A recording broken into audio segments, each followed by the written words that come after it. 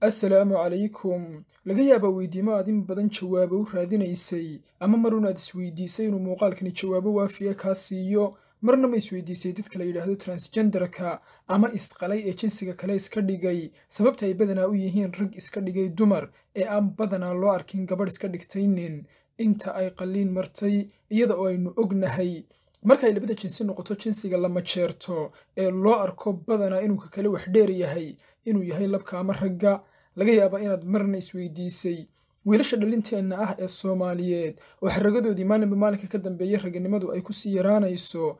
Heer ay marayso marka ay dhexda iska xidhaan inay suunka badhida bartankeeda ku xidhaan iyagoo aad moodid inay malaha badhidooda ku xaragoonayaan sidii hablaha oo kale marbana qaabka ay u hadlayaan qaabka ay u soconayaan habdhaqanadooda iyo caadifadoodu ay tii gabdhaha ka soo agdhowaanayaan laga yaabaa marna inaad aragtay nin si nool u tallaabsanaya raganimo ay ka muuqato jidhninnimo leh oo aad niyadda iska tidhi sida soomaali badan waayahan laga dhaadhiciyey.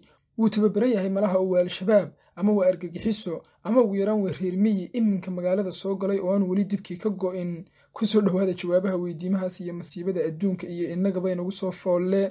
Haddii aad taqaanay adduunka waxa la kala odhan jiray lab iyo dhadig oo ahaa labada jinsi ee adduunka isu dheeliga tiraa maanta waxaa jira jinsi la yidhaahdo jinsiga latiifka ah al-jinsu latiif jinsiga debicsan oo sifadiisii haysta oo loo daayey oo ah dhadiga iyo jinsi la ceebeeyo la dhaliilo laga soo qaado inay nolosha qas iyo qulub uun ku yihiin ubadkuna inta ay dhallaanka yihiin xataa haddii ay jinsigaas yihiin la nacsiiyo oo ah jinsiga labka heer maanta ay labkii in badan oo ka mid ahay labnimadoodii cuqdad ka qaadeen qaarkoodna ayba ka agbedesheen oo ay jinsiga kala galeen inta aynaanu gelin sababta jinsiga labka loola dagaalamayo labnimadiisa aynu hal qodob bayaamino. Inanta soomaaliyeed marka ay doonayso inay la haasawdo inay guri kula kulanto oo ay ku sheekaystaan. Guriga walaalkeed ka soo agwareegi mayso ee waxay tegaysaa guriga walaasheed. Walaasheedna way soo dhoweynaysaa oo qol ayayba u diyaarinaysaa. Macnuhuna maaha inay walaasheed inantooda la doonayso xumaan. Xaasha iyada ayaa wiilka walaalkood ah uga cabsi badan.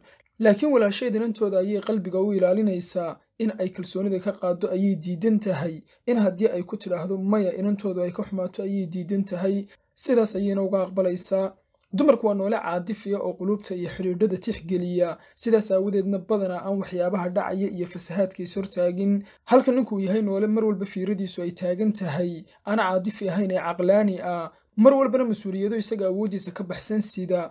Wax kasta oo weynuu dhibsanayana aanu caadifad iyo qalbi midna ku tixgelinaynayo hor joogsanayo maadaama la doonayo adduunkani inuu fasahaado fasahaadkaasna aan la hor joogsan si kasta oo awoodda ninka iyo saamaynta labka loo dhimi karayay ama shaashadaha looga saari karayeyba waa la sameeyey. Heer maanta caalamka galbeedka ninku uu la mid yahay boombalada carruurtu ay ku ciyaarto ee guriga taalla. Sifadii aabbinimo markii ay khadka ka baxdayna qaybtii ugu muhiimsanayd ee koboca garaadka jiilkii soo kacayay ayaa meesha ka baxday. Horena weynagii barnaamijku kaga hadalay in aabbila'aanta ama in tarbiyeynta aabbuhu ay ilmaha ka maqnaataa ay qayb ka tahay inuu ilmahaasi cuqdad qaado ama ay laxaadaan oo diinta ay ka tagaan ama aanay nolosha kaalin muuqato ka soo bixin. Sidoo kalena waanagii hore barnaamij uga diyaarinay waddanka shiinuhu inuu manhajka dugsiyadiisa ku daray maado la yidhaahdo raganimada.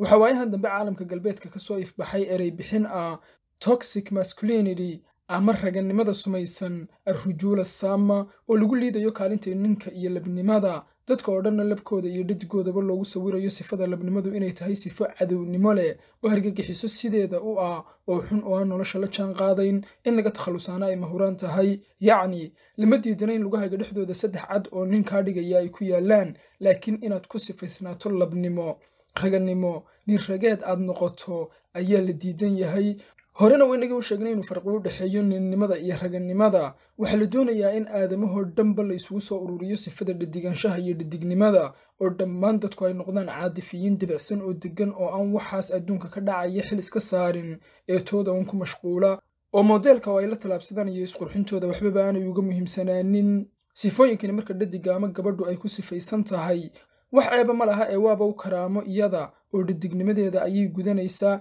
se marka uu ninkiina sidaas u dhaqmo waa khaniisnimo iyo nin raganimadii ka haajiray sidii eray bixintaas iyo fakarkaas ay wadato dadka loo marsiin lahaa ee looga dhaadhicin lahaa? Waxay u baahatay kaarto. Xeeladaasna waxay noqotay saxaafadda.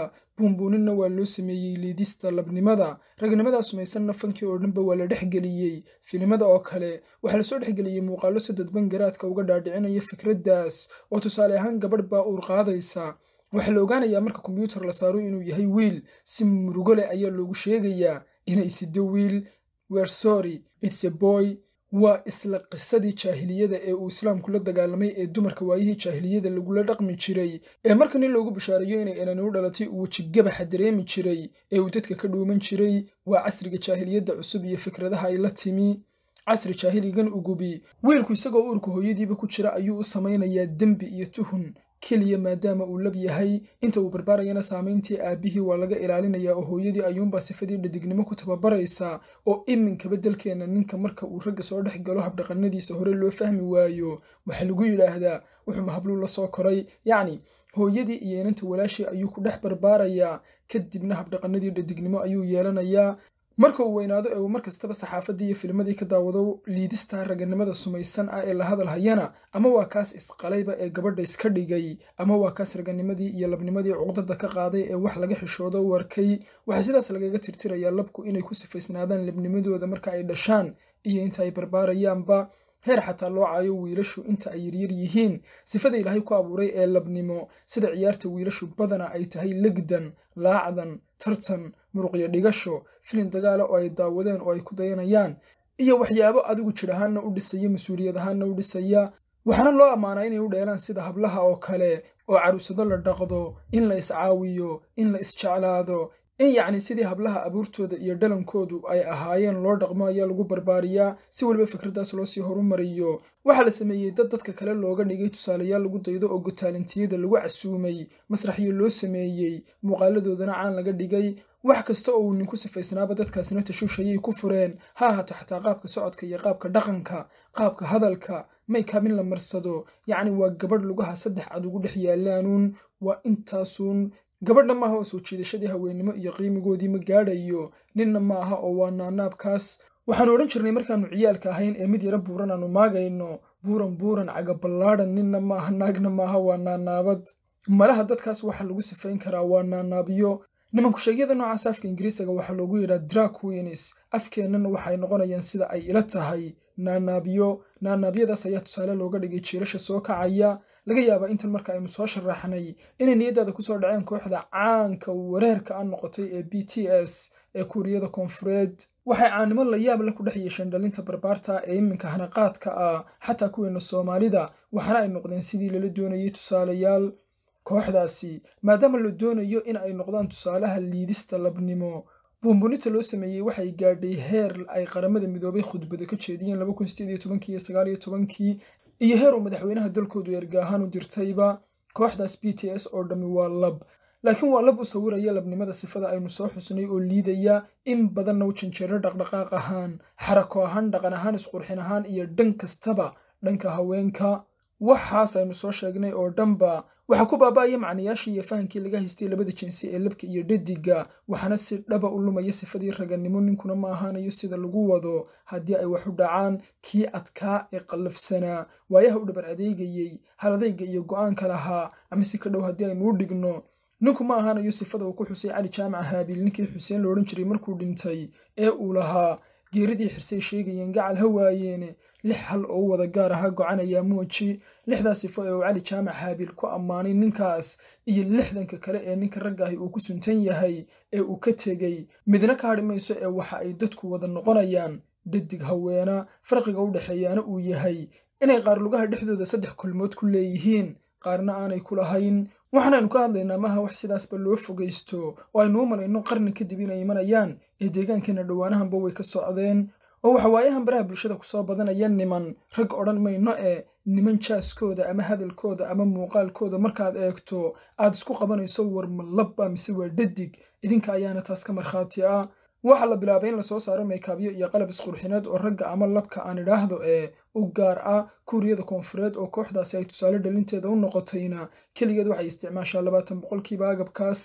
Gabaygaas cali jaamac haabiil waxa uu soo qaadanayaa sifooyin raganimo iyo milgihii ninnimo leh oo uu ninkaa xirsi ahaa ilaahay dhammaantoodba ha u naxariisto ee ka soo tebinayo ku bashaarayso in sifooyin kinisadan haddii ay wax u sii socdaan ay maalin dhow xataa soomaalidiina dhexdeeda ka tirtirmayaan iminkana tirtirankoodii uu bilaabmay.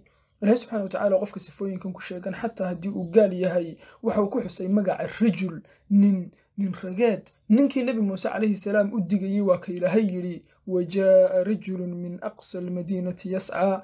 Rajul nin sifooyinka raganimada ahaa ayuu yeeshay. Markaasuu ilaahay yidhi nin halkii uu odhan lahaa mid ka mida reer fircoon iyo ereyada la midka ah waxaa sidaas haddii ay waxu sii socdaan khadka ka baxaya astaamihii ugu muhiimsanaa ee ragannimada ee geesinimada iyo hogaaminta dulqaadka iyo xambaarashada mas'uuliyadda. Waxaan maanta dhacaya ee argagaxaale nebigeenu salallahu caleyh wasalam hore ayuu inoogaga sii digay oo wuu nacdalay nimanka haweenka isu ekaysiiya iyo haweenka nimanka isu ekaysiiya. Waxuuna faray in wiilasha iyo gabdhaha xataa haddii ay walaalo yihiin inta dhallaanka yihiin gogasha loo kala saaro si aanu midkoodna ka kale dhaqankiisa iyo dabcigiisa u qaadan. Oo sida uu ninku haddii uu u qaato dabciga inanta u raganimadiisa u waayayo ayay inantuna haddii ay qaadato dabciga ninka gabadhnimadeeda u waayeysa waxaan filayaa dhammaan weydiimahayga inaad barnaamijkan jawaab uga heshay.